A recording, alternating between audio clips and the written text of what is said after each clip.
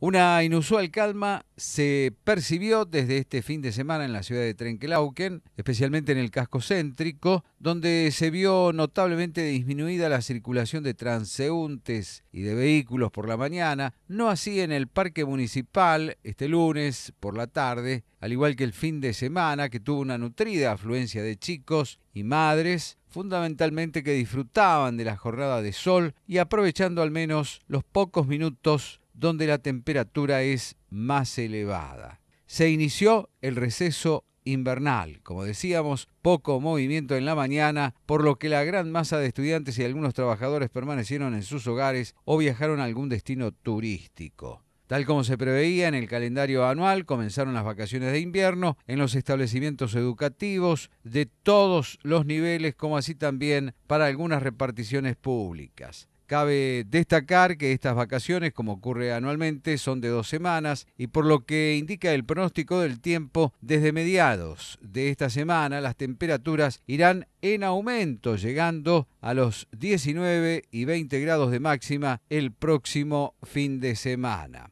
Comenzaron distintas actividades por lo pronto en estas vacaciones de invierno, actividades municipales. Este martes a las 14 horas en Beruti, función de títeres el Blue de los dinosaurios tristes en la biblioteca Elvira Olazábal. A las 17 horas, en el Teatro Español, este martes 21, función de títeres. Para el miércoles está previsto juegos recreativos en el Centro Chiquito Tello de 14 a 17. Para el jueves 23, atletismo barrial en el Centro Ramón Carrillo de 14 a 17. Y el viernes, fútbol barrial en el Centro Indio Trompa de 14 a 17 horas, como así también a las 14 horas el viernes, cine en la Casa de la Historia y la Cultura con proyección de película familiar.